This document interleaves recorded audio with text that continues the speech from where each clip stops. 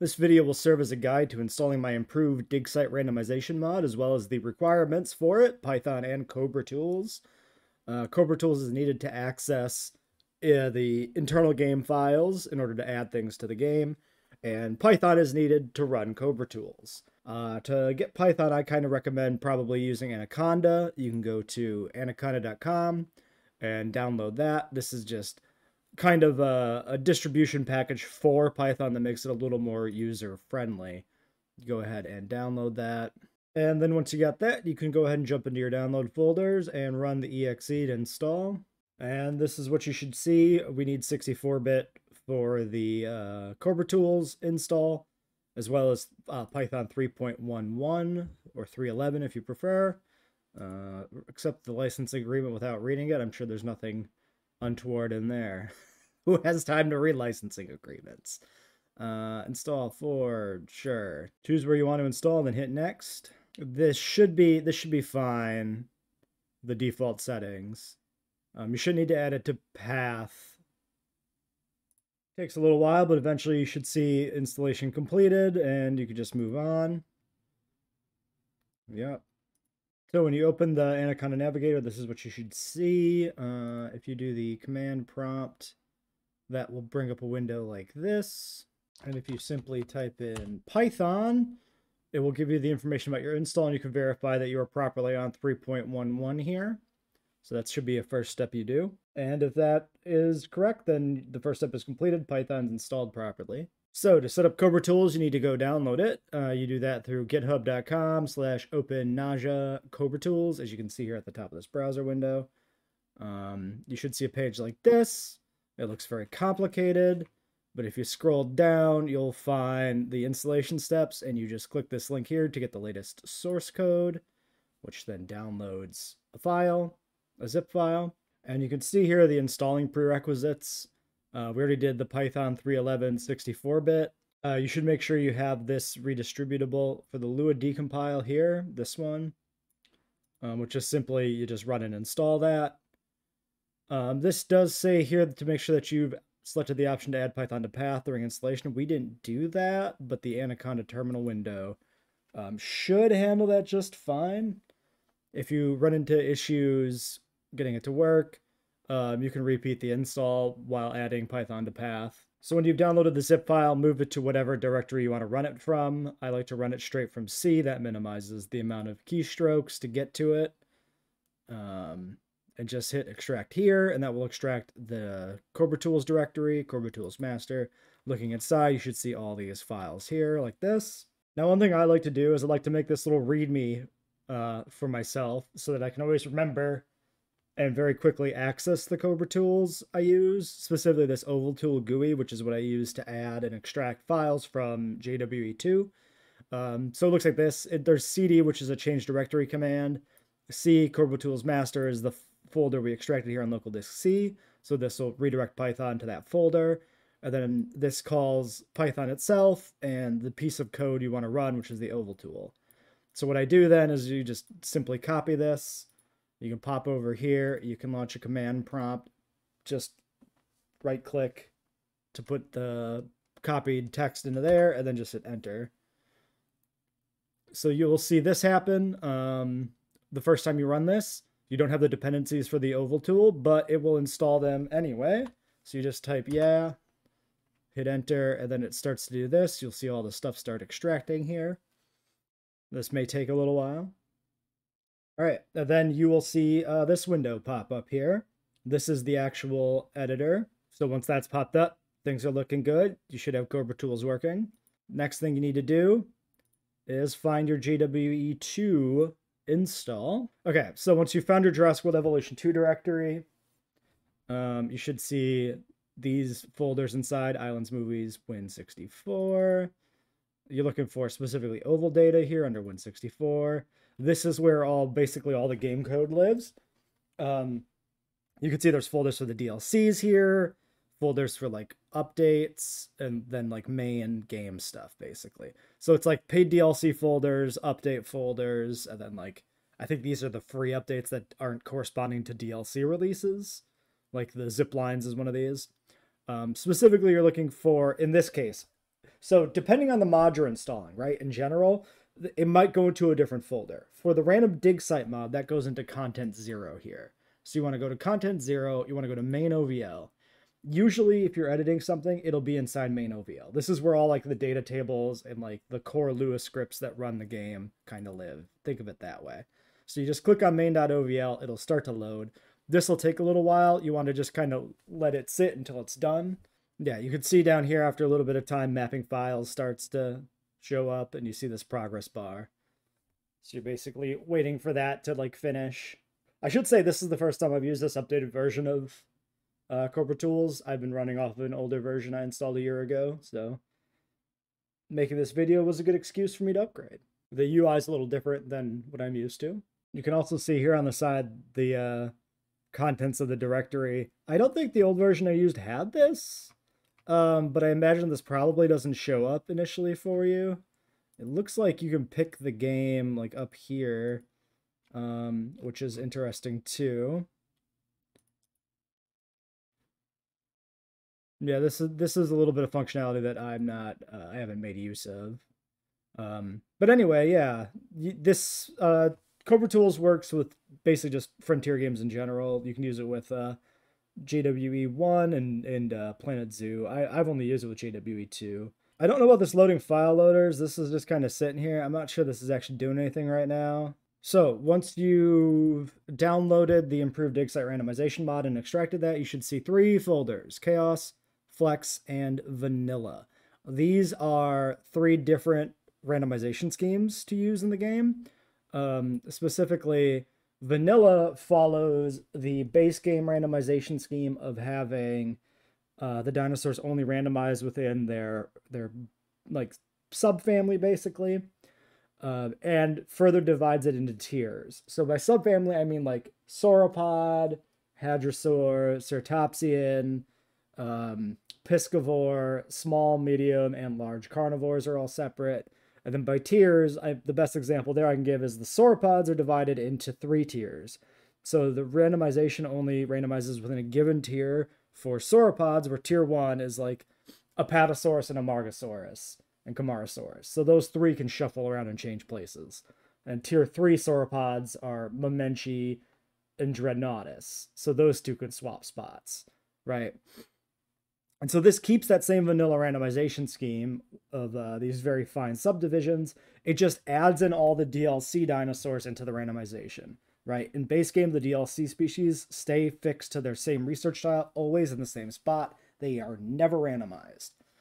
So if you just want to simply add them, but preserve the style of randomization Frontier has implemented, you do vanilla. If you want to do a little bit, get a little bit crazier with it, you can do flex so what flex does is it removes the tiers. So you randomize still within the family, like sauropods randomize with other sauropods, and so on and so forth. Uh, but they can go anywhere. So you can end up with Dreadnoughtus as your first sauropod in the research tree. Whereas that'll never happen in base game. In base game, it cannot move any further up the tree than the position Mamenchisaurus is in. One basically moves forward or backwards one tile only.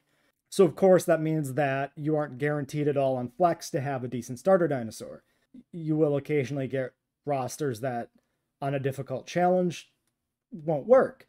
But that's fine. This is a mod, right? You you've decided to do this to yourself. It's your fault.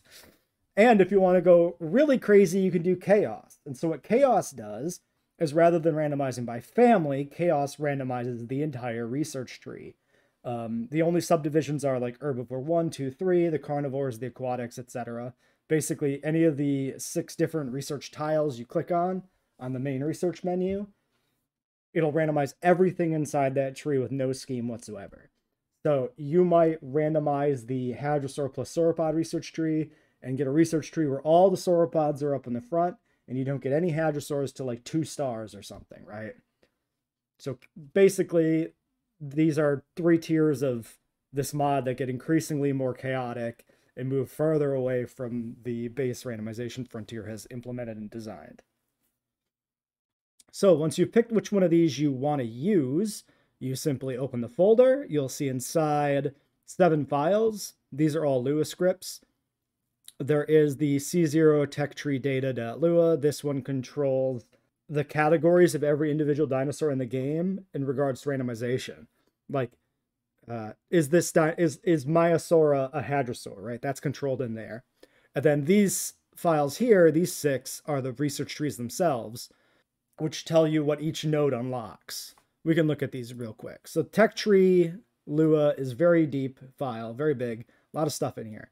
Uh, at the very end here is where the research stuff happens. So you can see here we're in chaos.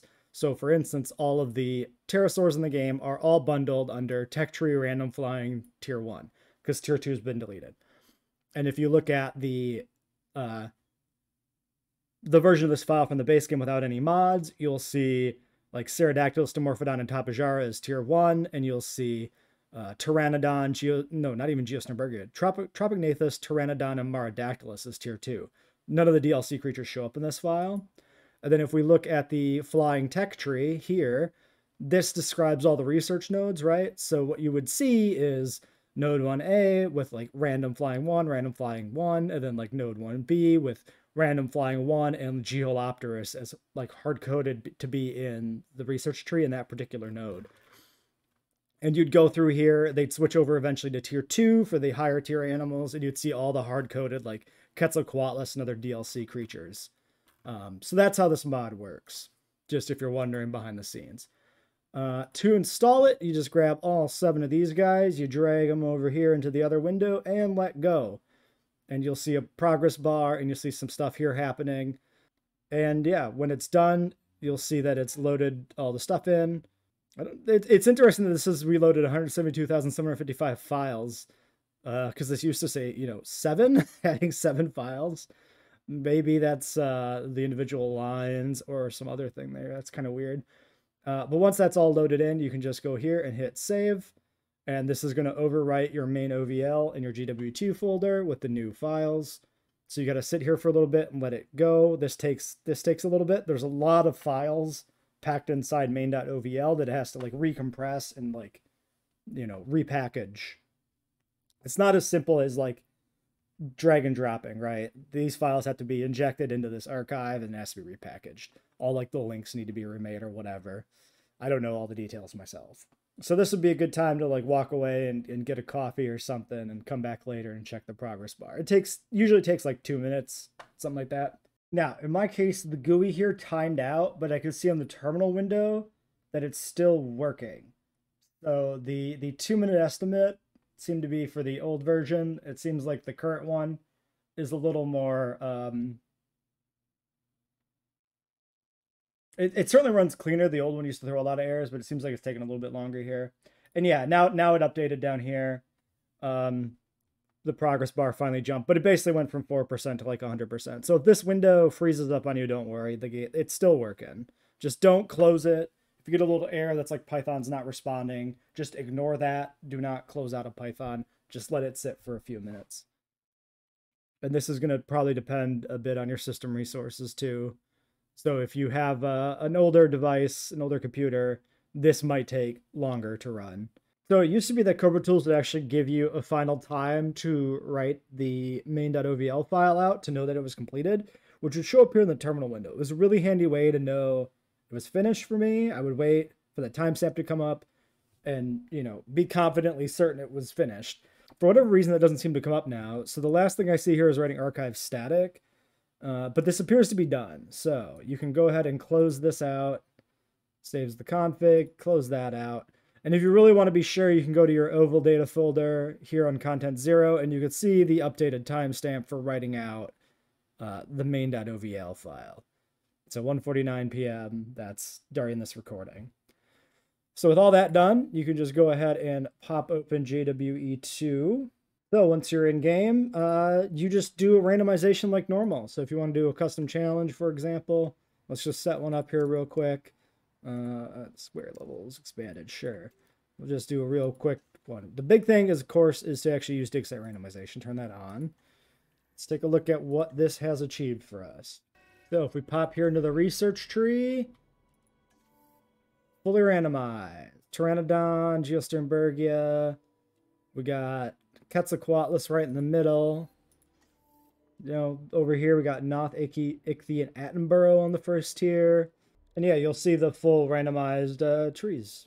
There's a few other details you might notice. Uh, one is that certain dinosaurs in the game don't have these icons apparently, so I've had to swap out for different ones. Uh, you can see here, like Oviraptor shows up. That's because Gigantoraptor doesn't appear to have one of these two icons, and it'll break the uh, the game if it randomizes. Um, so that's been fixed. If you ever open up the research tree and it bugs out, it's corrupted, and you like can't scroll through, and you see weird stuff. Insert example here. Uh, that means that there's some sort of dinosaur in game that doesn't have one of these images on the tile and I need to know that there's still an issue. So that's a bug. You need to report that to me so that I can try to find out which dinosaur is missing and correct it. Um, I don't know any way to get more information than the fact that there still is a problem, so it's going to be a little tedious to iron out all the wrinkles, if there are still wrinkles. If you try to launch DW2 and it doesn't open at all, that means there was an issue with writing the main OVL. You maybe um, changed something you weren't supposed to, or missed a file, or closed it too soon when it was writing, and the OVL file's been corrupted. You can go ahead and go to the game on Steam, go to properties. This probably only applies if you're using it on Steam, of course. Uh, and Steam has this nice thing where you go to installed files, verify this game's files are installed correctly, verify integrity. If you click this button here, it'll go through, it'll look for changes in the files that it thinks is damage, in this case mods, and if the game's not launching, mods that are probably improperly installed uh, and it'll reset the files to what they are normally, which will fix your issues with launching. And then you could try and reinstall the mod um, again to try and get it to work. If you don't like the randomization you've got, or it doesn't seem like it's going to be viable, one quick tip you can do, you can just restart the challenge that redoes the randomization from scratch. Uh, and you can do that until you get a tree that seems like it's going to work. You might need to do that, especially if you're using uh, the Flex version or chaos version of the randomization. And that should be everything you need to know about how to install the research mod and how it works. I hope you enjoy it.